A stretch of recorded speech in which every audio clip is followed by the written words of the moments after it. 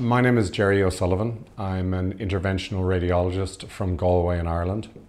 And today I'd like to talk a little bit about the interventional radiological procedures that we offer. Most of the procedures that we offer are day case, minimally invasive, state of the art procedures, which are very time effective for the patient, are typically low risk, and are very cost effective for healthcare systems.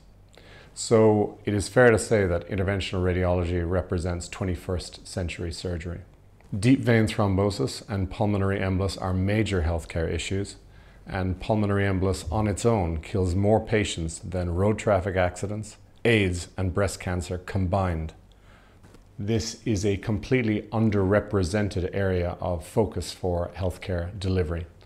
This particular patient is a young female who was unfortunate enough to suffer two serious iliofemoral deep vein thromboses in her 20s.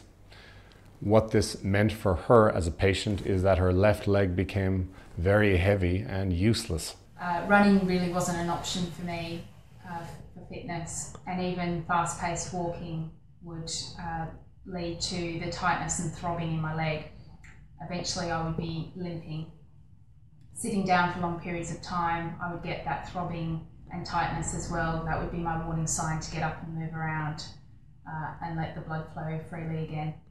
She was admitted to our interventional radiological unit for a day case procedure. Over the course of a two hour procedure, we reconstructed the patient's veins in her pelvis so that blood flowed in the correct orientation and correct direction. When you are approaching somebody with an iliofemoral venous occlusion, you need to identify the anatomy in order to determine your puncture point.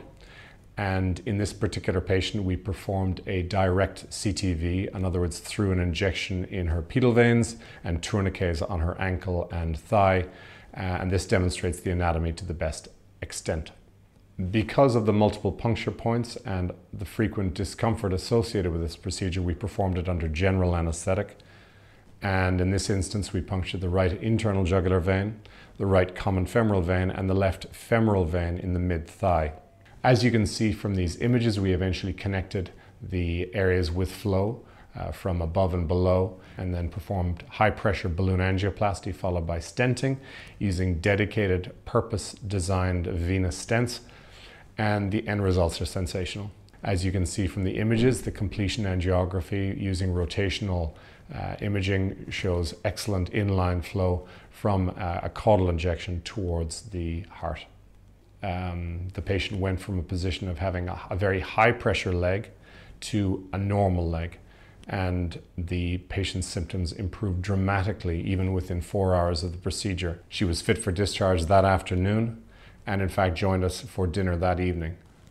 The purpose of describing this operation and this patient's experiences is to raise awareness of what interventional radiologists can do for patients with iliofemoral venous thrombosis in terms of reconstruction of their venous segments. Iliofemoral deep vein thrombosis is currently vastly undertreated all over the world. Each year, less than 1% of people are offered an appropriate treatment for this disease. And as interventional radiologists, we are ideally situated to improve this situation for these patients. These procedures are low risk and have a high success rate with good long-term results. Most importantly, the biggest downside for the patient is that if the procedure fails, they're back to their original situation. They are no worse off. That's very important to understand. Therefore, in my view, this procedure offers huge benefits for patients who are typically young and whose lives are seriously affected by this condition. I can now exercise and my two legs feel the same. I don't have tightness, my leg's not solid, it doesn't throb when I exercise. Uh, in fact, I now have normal muscle tone. So it's completely changed my quality of life and I'm thrilled with the results and really pleased that I had it done. This patient had been told by several different specialists over several years that she should just get on with her life and forget about the fact that her leg was blocked. In fact, she was told to exercise the other leg to build up the muscles so that it was the same size as the swollen leg. This kind of thinking and teaching has no place in modern medicine. As interventional radiologists, we have the ability and the technology to overcome these challenges and reconstruct patients' veins and arteries to bring them back the quality of life that they deserve. I was delighted that my team and I were able to offer this patient a procedure which has transformed her life.